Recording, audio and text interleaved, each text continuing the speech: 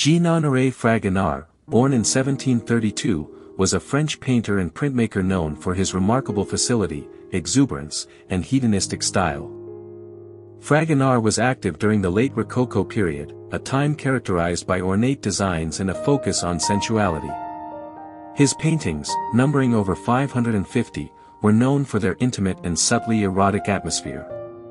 Although only five of his works are dated, Fragonard's prolific output and popularity made him one of the most notable artists of the Ancien regime.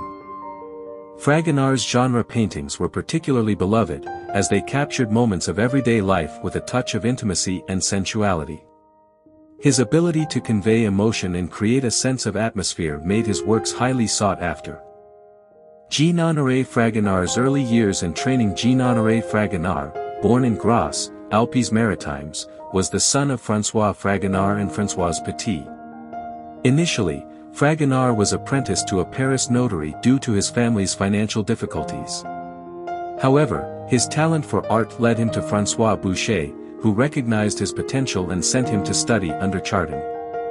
After six months, Fragonard returned to Boucher's studio and became skilled enough to replicate his mentor's paintings. Fragonard's success and recognition even without being a student at the Academy, Fragonard won the prestigious Prix de Rome in 1752 for his painting Jeroboam Sacrificing to Idols. Before traveling to Rome, he continued his studies for three more years under Carl van Loo. In Rome, Fragonard immersed himself in the works of the great masters and refined his own artistic style. Late career and legacy After returning from Rome, Fragonard enjoyed great success and became a master painter. He specialized in genre scenes, portraits, and landscapes, often capturing the themes of love and romance. His works displayed a unique combination of vibrant colors, delicate brushwork, and a sense of spontaneity. Fragonard's art had a significant impact on the Rococo movement and influenced many later artists.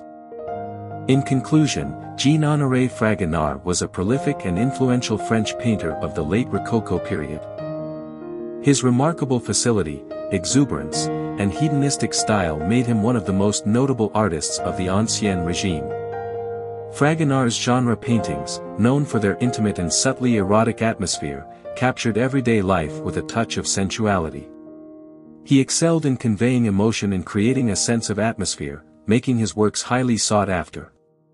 Despite initially facing financial difficulties, Fragonard's talent for art led him to study under François Boucher and Chardin, eventually becoming a master painter himself.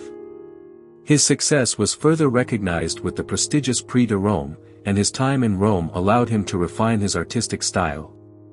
Fragonard's unique combination of vibrant colors, delicate brushwork, and spontaneity had a significant impact on the Rococo movement and influenced many later artists.